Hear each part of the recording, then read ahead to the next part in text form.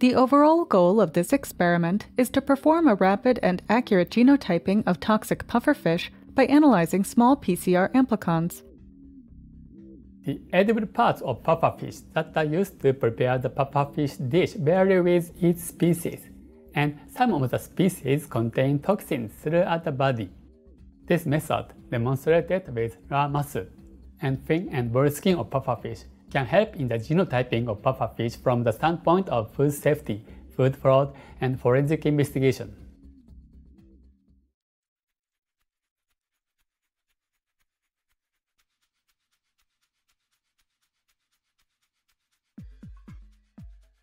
To perform DNA extraction using a kit, first place 30 to 50 milligrams of fish tissue in a 0.5 or 1.5 milliliter microcentrifuge tube.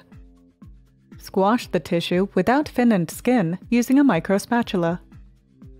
Add 180 microliters of the animal tissue lysis buffer and 40 microliters of proteinase K and vortex briefly. Incubate at 56 degrees Celsius on a block heater for 2 hours or overnight. Centrifuge the sample for 5 minutes at 13,000 times G. After transferring the supernatant to a new 1.5 milliliter microcentrifuge tube, add 200 microliters of the chaotropic buffer containing guanidine hydrochloride from the kit. Then add 200 microliters of 99.5% ethanol and mix by vortexing.